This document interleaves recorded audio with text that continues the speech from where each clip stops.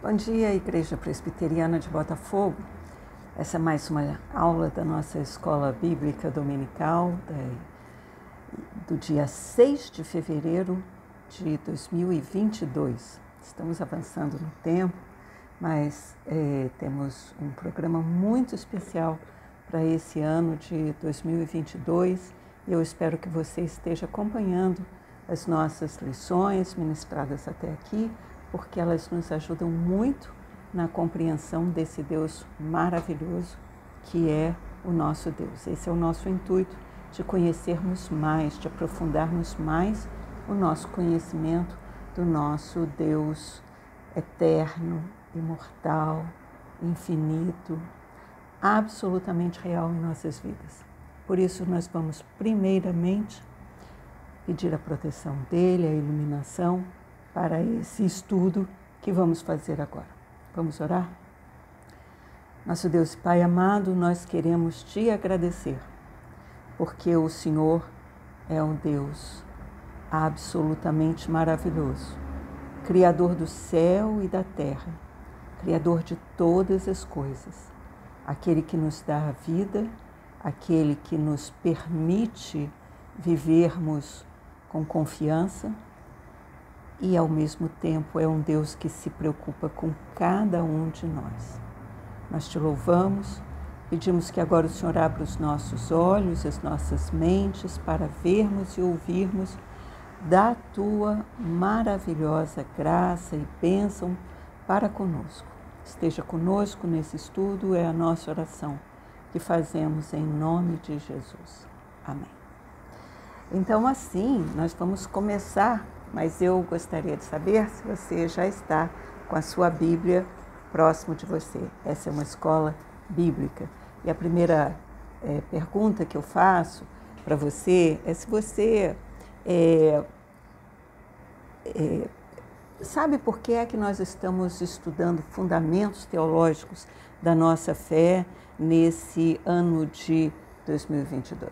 Bem, eu já respondo porque é, nossa interação virtual ela não é perfeita, mas é bom sabermos que nós temos que ter segurança naquilo que nós cremos. Nós devemos saber por que nós cremos, saber em quem nós cremos, para nós não cairmos naquele, é, naquela situação dos atenienses quando Paulo esteve ali em Atenas com os gregos, enfim, é, falando de, de Deus, falando de Cristo, e ele disse: Olha, vocês têm muitos deuses, eu vejo que vocês são muito religiosos, mas eu estou pregando para vocês o Deus desconhecido.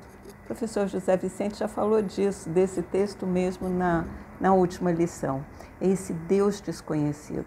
Será que Deus é desconhecido para você?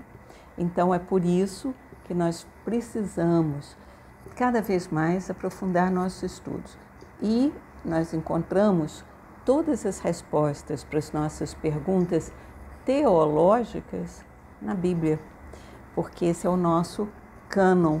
Nós já vimos também isso em aulas anteriores. É o nosso é a nossa norma original, é o nosso padrão, é o nosso modelo ideal de é, compreensão e de vivência da, da nossa religião. A Bíblia é a nossa regra de fé e de prática.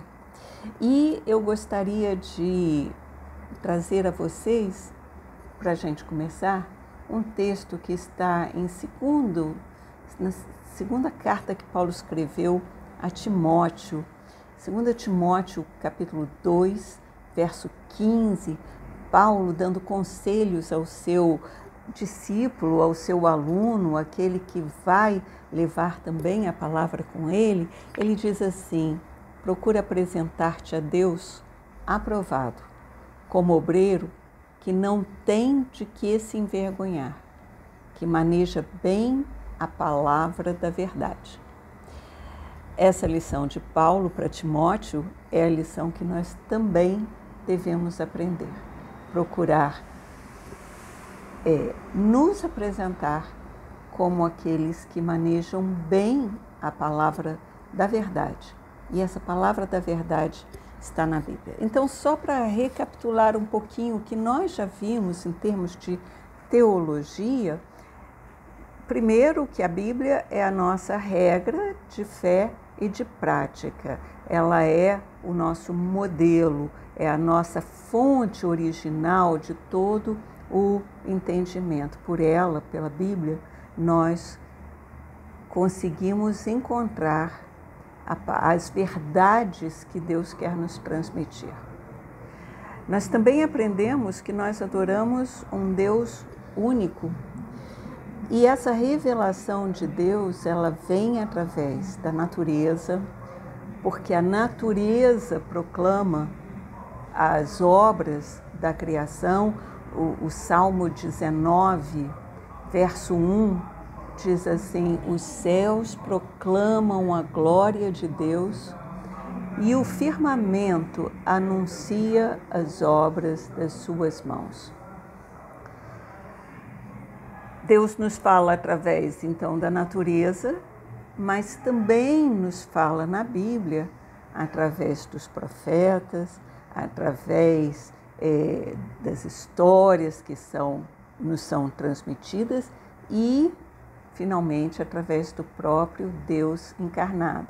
E isso o apóstolo Paulo fala muito bem na sua carta aos Hebreus, quando ele diz, no capítulo 1 de Hebreus, versos 1 e 2, ele diz assim: Havendo Deus outrora falado muitas vezes e de muitas maneiras aos nossos pais, pelos profetas, nestes últimos dias, nos falou pelo Filho, a quem constituiu o herdeiro de todas as coisas, pelo qual também fez o universo.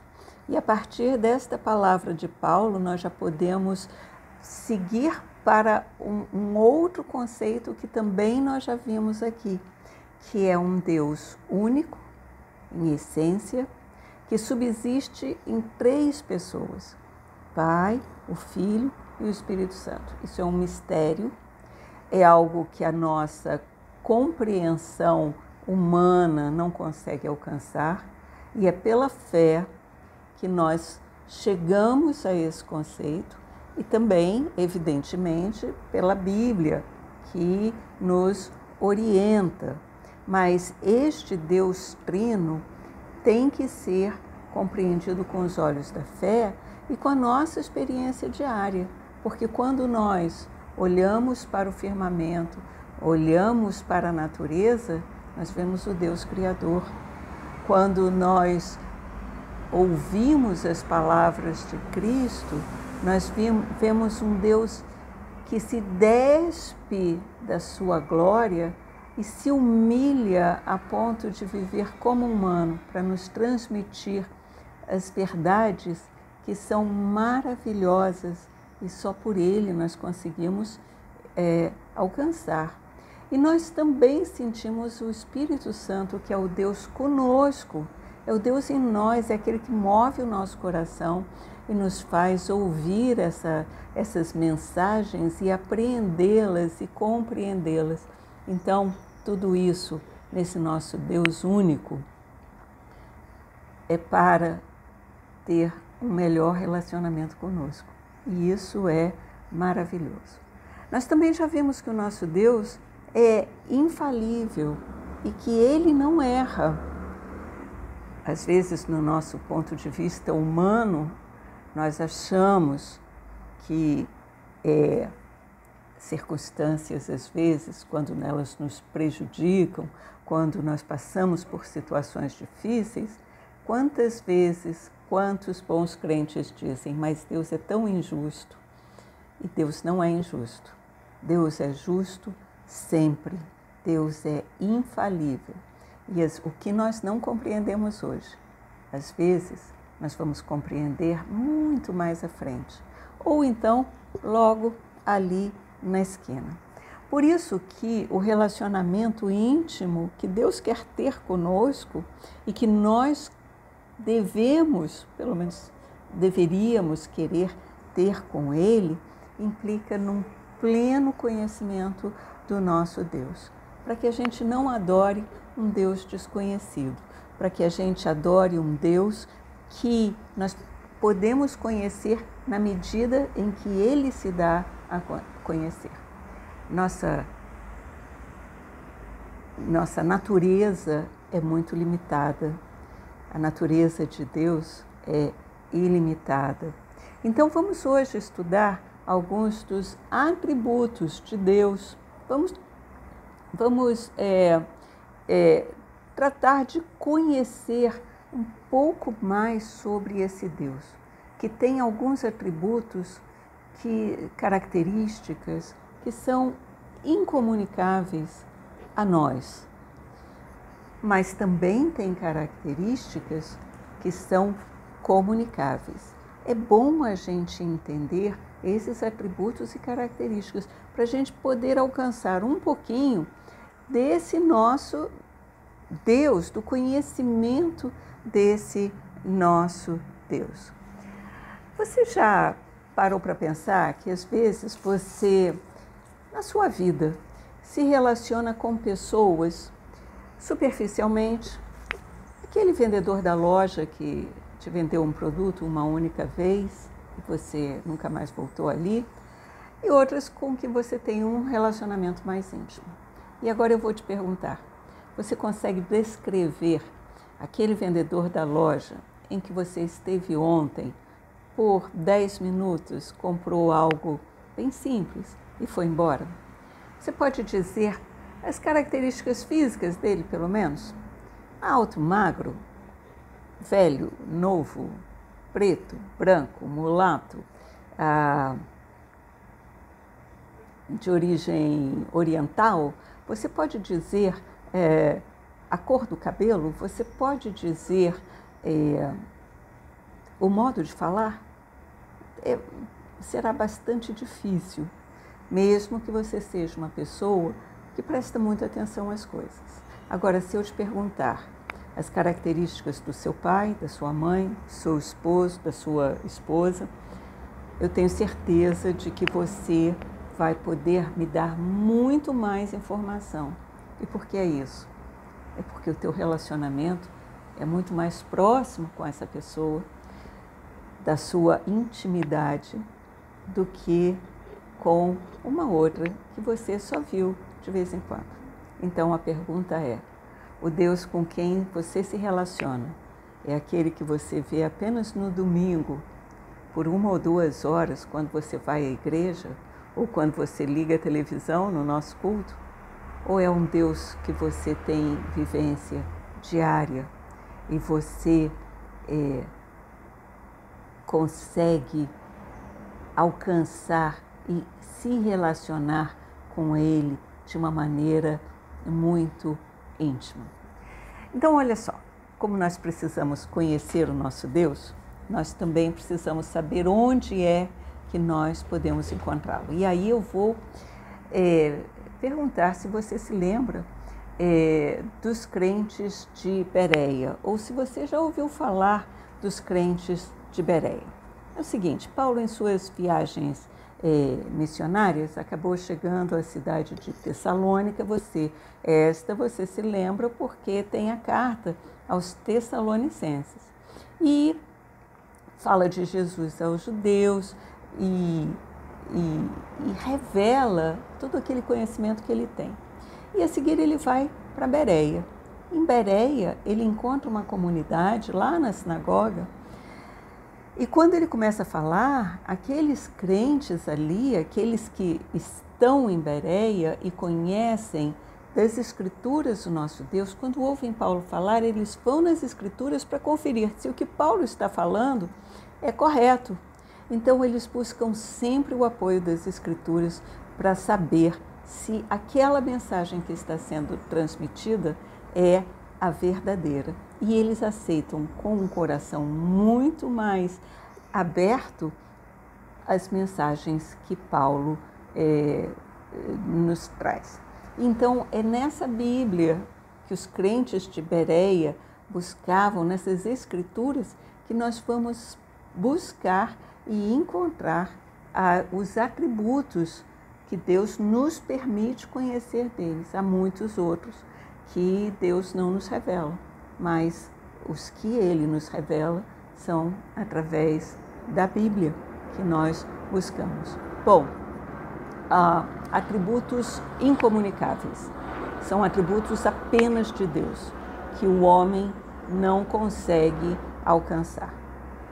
Primeiro atributo que nós podemos é, trazer é uma palavra até não muito usada, aceidade, com dois S's, aceidade. Essa palavra tem origem no latim, significa sei, significa de si mesmo. Deus não deriva de nada, ele não depende de nada, ele não está condicionado a nada. Deus é.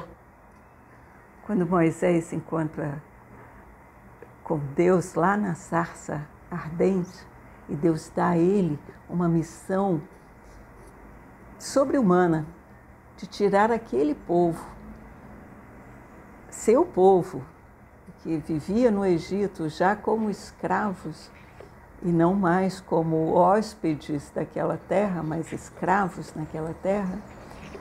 Moisés, duvidando de Deus, diz: Mas eu vou a esse povo eu nem fui criado com eles, eu fui criado no palácio de Faraó, eu vou a esse povo. Quem é que eu vou dizer que falou comigo? E Deus diz o quê? Diga que eu sou. Mandou a mensagem. Eu sou. Deus é. Ele não foi. Ele não será. Deus é. Sempre e eternamente. Eu e você fomos gerados nossa origem é dos nossos pais, dos nossos avós, da nossa ascendência. Nós temos algo que é, nos criou. Mas as plantas mesmo, você pode ter uma plantinha que você gosta muito e dali tirar uma raiz e fazer uma outra planta, reproduzir uma outra planta. Mas na origem, elas foram criadas por Deus. Nós, na origem, no primeiro homem, fomos criados por Deus e depois gerados por outros homens e mulheres. Mas Deus não se criou, não se gerou, Deus é.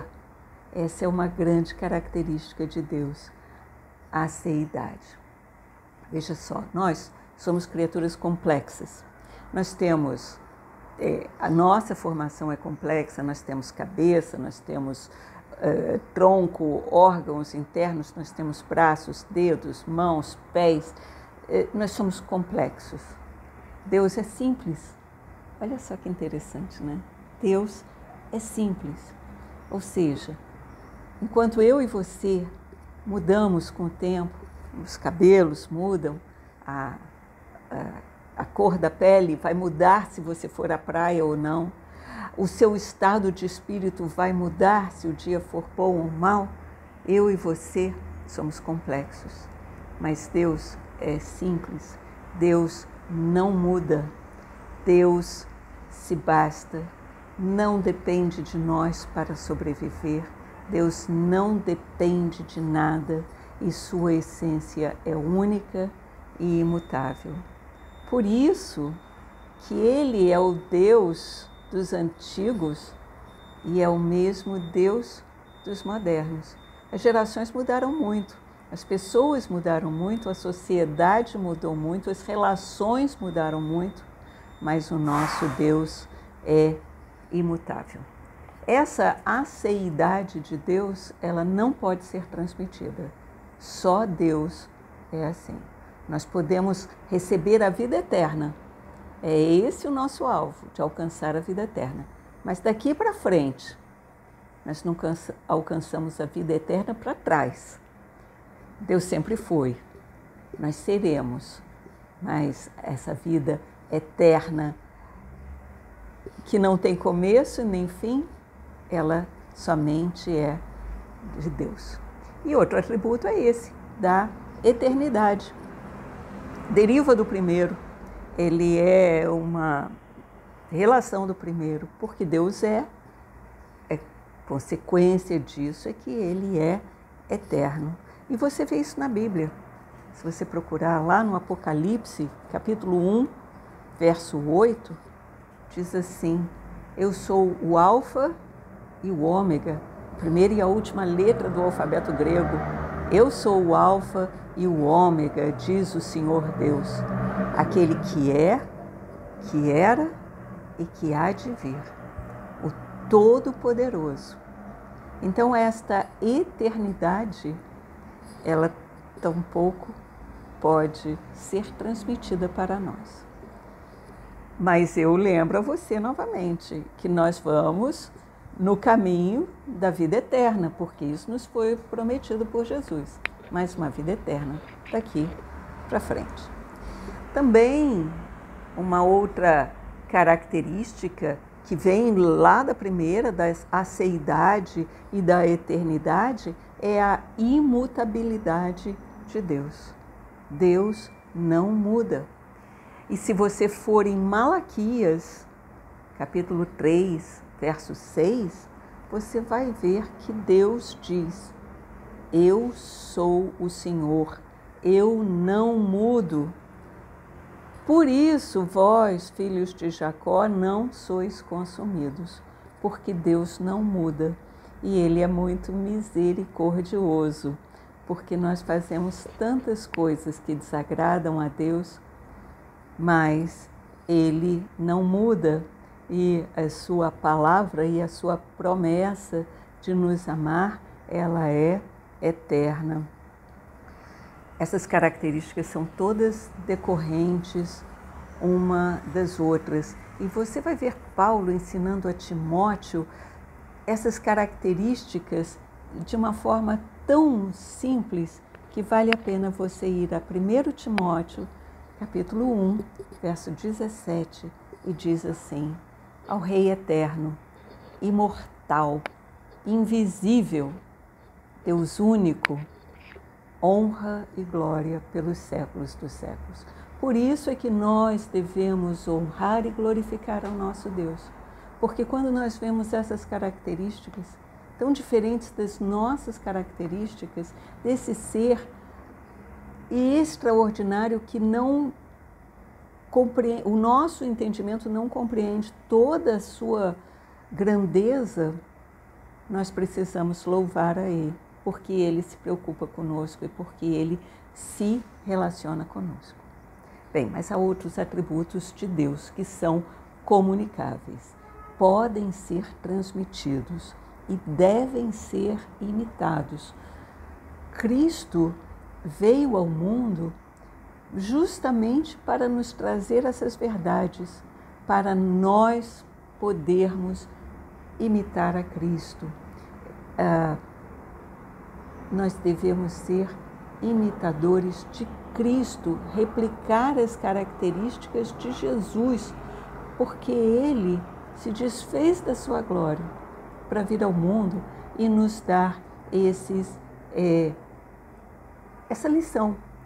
Paulo, quando escreve aos Gálatas, no capítulo 5, verso 22 e 23, ele fala dos frutos do Espírito: amor, alegria, paz, longanimidade, benignidade, bondade, fidelidade, mansidão, domínio próprio.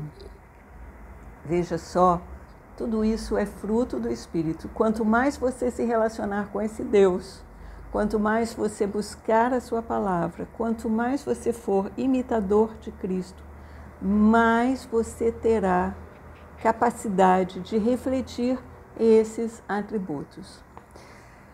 O amor é o maior deles, Paulo já falava, e o apóstolo do amor é João. Então, João, em sua primeira carta, no capítulo 4, verso 8, diz: Aquele que não ama não conhece a Deus, porque Deus é amor. Quer repetir? Deus é amor. E se você não ama, se você não pode amar, você não conhece a Deus ainda, mas você pode conhecer esse Deus amoroso. Santidade também é um atributo duplo. Tem um conceito de santidade que não é transmitido, é um atributo único de Deus. Quando nós falamos de santidade, como a natureza do ser. Esse atributo não chega a nós. Deus é santo. Deus é santo, como está primeira, primeiro livro de Samuel, capítulo 2, verso 2. Não há santo como Deus. Então, nesse aspecto de santidade plena, esse é um atributo incomunicável de Deus. Mas nós também podemos ter esta santidade como um reflexo do caráter puro de Deus na nossa vida. Então, quando nós buscamos uma excelência moral, quando nós buscamos uma excelência ética, nós estamos buscando essa santidade. E aí nós podemos é, buscar ser santo como o Senhor nosso Deus é. Essa perfeição nós não alcançaremos, mas nós podemos chegar lá. E bondade, que característica é essa que Paulo fala, mas nós encontramos em outras partes da Bíblia também. Lembra do Salmo 23? Todo mundo conhece o Salmo 23, que diz: O Senhor é o meu pastor e nada me faltará. Lá no verso 6 ele diz: Bondade e misericórdia certamente me seguirão todos os dias da minha vida e habitarei na casa do Senhor para todo sempre. Veja que essa bondade de Deus e essa misericórdia de Deus, que são atributos de Deus, eles podem ser transmitidos a nós. E nós, como imitadores de Cristo, nós devemos ter estas características também na nossa vida. Justiça é uma outra característica de Deus. Deus é justo sempre. Nós, nem sempre mas nós devemos buscar refletir essa característica. Veja lá em Provérbios 10, verso 31. A boca do justo produz sabedoria, mas a língua da perversidade será desarraigada, vai ser tirada da sua raiz. Então é melhor ser justo, porque justiça produz sabedoria. E que sabedoria é essa? É o conhecimento formal da ciência? É o conhecimento formal das letras? É o muito estudo? Não. A sabedoria que nos interessa, a verdadeira sabedoria, é aquela dos imitadores de Deus. É aquela que nos ensina a viver da maneira que agrada a Deus. Olha o Salmo 110, perdão, 111, versículo 10. O temor do Senhor é o princípio da sabedoria. Lá em Provérbios também, Provérbios 10, verso 27. Então, Provérbios 10, verso 27, é, nós temos o seguinte texto: O temor do Senhor prolonga os dias da vida. Quantas lições que nós alcançamos quando nós nos dedicamos a estudar mais profundamente a palavra de Deus. E quando nós nos dedicamos a viver de acordo com essa palavra. Então, esse estudo da teologia que nós fazemos esse ano, buscando os fundamentos da nossa fé, buscando entender em quem nós cremos e por que nós cremos, eles nos ajudam muito na nossa vida. E é isso que nós queremos, que o cristão, aquele que conhece Jesus e aquele que quer conhecer Jesus, encontre em cada um de nós aquele sal da terra, aquela luz do mundo, aquela perspectiva diferente da vida, aquela, aquela forma de viver que não eh, se amolda às circunstâncias, mas apesar das circunstâncias, vive uma vida de paz, uma vida serena, uma vida de amor, uma vida de bondade, uma vida de justiça, quanta coisa. Então, é, nós esperamos você aqui na EBD é, nas próximas aulas. Nós temos muito que aprender, aprofundar a nossa relação com o nosso Deus. Esteja ligado sempre. Vá no YouTube buscar as aulas que você perdeu. Vale a pena passar por elas mais uma vez. É bom retomar e ouvir e ir pelo caminho lembrando dessas, dessas verdades, porque a nossa vida será muito mais fácil assim. Até o próximo domingo. Nos vemos lá. Um abraço.